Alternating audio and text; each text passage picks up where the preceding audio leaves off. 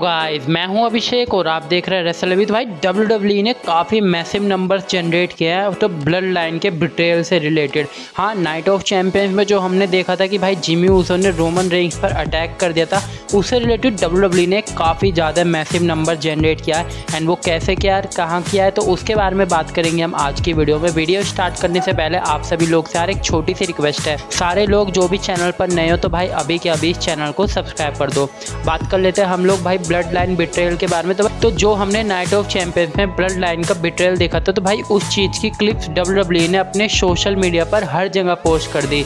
Like Facebook Instagram Twitter YouTube and W को इस चीज़ के ऊपर भाई बहुत ही ज़्यादा व्यूज़ मिल रहे हैं। एंड जो रिपोर्ट आ रही है वो ये आ रही है कि डब्ल्यू डब्ल्यू ने चौबीस घंटों के अंदर अंदर दस मिलियन व्यूज़ ले लिया है उनके सोशल मीडिया पर। हाँ गाइज़ ये बहुत ही ज़्यादा बड़ा नंबर है एंड ये सिर्फ़ ट्वेंटी फोर आवर्स में एंड इतना ही नहीं जे ऊसो ने भी इसके ऊपर रिएक्ट किया है, जब डब्ल्यू ने वही पिक्चर को पोस्ट की, जब जिमी ऊसो रोमन रेंग्स को सुपर किक लगा रहे डब्ल्यू ने वही पोस्ट अपने इंस्टाग्राम पर डाल दी। एंड वहाँ पर से जे ऊसो कमेंट करते हैं डैम डिलीट दिस हाँ भाई, जे ऊसो, पता नहीं क्यों यार, ये सारी चीज़ें को सस्ते में निपटाना चाह रहे मान लो वो कुछ इस पर रिएक्ट नहीं करना चाह रहे, ना ही वो इस पर ज़्यादा कुछ बोलना चाह रहे।